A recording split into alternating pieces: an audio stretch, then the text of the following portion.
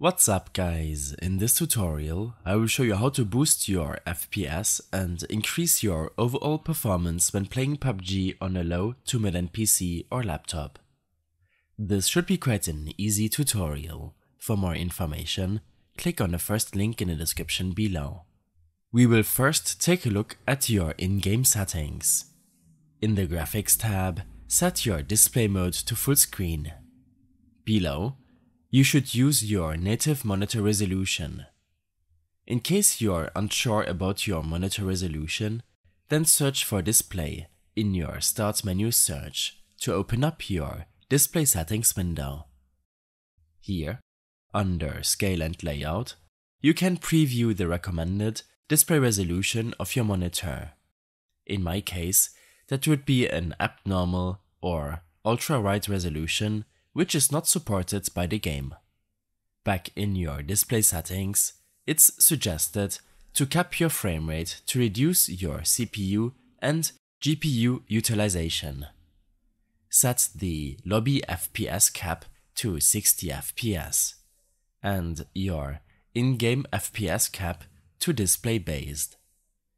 This will make sure that your in-game frame rate will match your screen's refresh rate. You can preview and change your monitor's refresh rate in your display settings. The brightness will not change your performance, and I like to slightly increase this option. Below, you can change the brightness setting for each map, in case there is a map where you would like to increase or decrease the brightness option. Your advanced settings will largely depend on your system specifications, and I advise you to play a game to test out your settings to tweak them later on to see if you have some performance to spare. I will set these for low to mid-end PCs while keeping some visual quality. Set your render scale to around 95%. This setting can reduce the stress on your GPU when reducing it, but the visual quality will suffer a lot. I like to use a high field of view for the first person camera perspective, but this will come down to personal preference. Set the overall graphics quality to custom, anti-aliasing to very low, post-processing to low, shadows to very low, as this can improve your performance by a lot.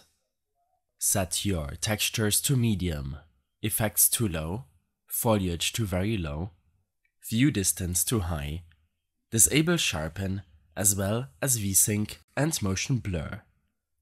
Lastly, you will want to use DirectX 11 in most cases, but in case DirectX 12 is supported on your system, then you might want to enable it to get more performance on your PC. When this is done, apply your changes. To test your performance improvement, you should make use of an FPS counter and enable your network debug statistics option to preview your server latency and other network related information to troubleshoot performance issues. If you're using an NVIDIA graphics card, then I suggest enabling NVIDIA image scaling, which will increase your performance by a lot. To do so, you should use the GeForce Experience application. Here, in the Drivers tab, make sure that the most recent GPU driver is installed. If this is not the case, then click on Download to automatically download and install the newest driver.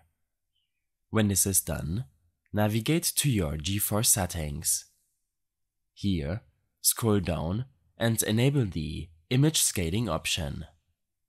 This will boost your overall frame rates when playing a game on your PC. In the Home tab, you can access individual game settings, which can also be changed from here. Simply select Details for PUBG. You will be presented with current in-game settings and with the optimal settings suggestion depending on your hardware. When selecting Optimize, GeForce Experience will apply the recommended settings to the game. You also have the option to use custom settings when selecting this wrench icon. Here, use this slider system to reduce some options and change your display resolution and display mode, in case you're using an abnormal screen resolution as I am. After applying your changes, make sure to leave the game running and open up your task manager by searching for it in your Start menu search. In the Processes tab, right-click the TSL game process and select to go to Details. In the Details tab, the tslgame.exe process with the highest memory allocation should be highlighted. Simply right-click the process and set its priority to high. In order to reduce the CPU utilization from other programs, I suggest you end some programs from running in the background, which you don't need when playing the game. But make sure to only end programs from running, which you know won't break your operating system. In the Startup tab, you can additionally prevent programs from starting up on system boot. You can then close your Task Manager and PUBG.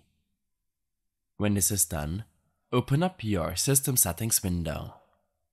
Here, navigate to the Gaming section. Under Game Mode, you have the option to enable or disable Game Mode on your PC. In theory, Game Mode should prevent Windows Update from performing driver installations and sending restart notifications as well as help achieve a more stable frame rate while in-game. Some users have reported that disabling this option will drastically increase their gaming performance on Windows 11. I suggest verifying if this will improve or worsen your overall performance while playing PUBG. In your related settings, select Graphics. Click on Browse to change some custom graphics settings for PUBG. In your File Explorer, navigate to the drive on which you saved the game on.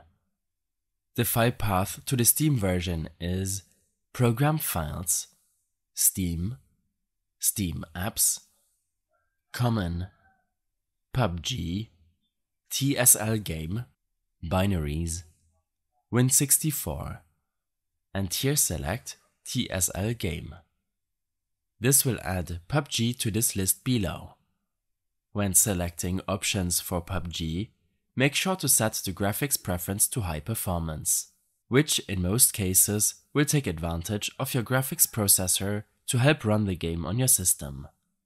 Keep your settings window open and search for update to get to your Windows Update settings. Make sure to check for recent updates and in case there is an update available to you, make sure to download it before restarting your PC, which will install the update for you.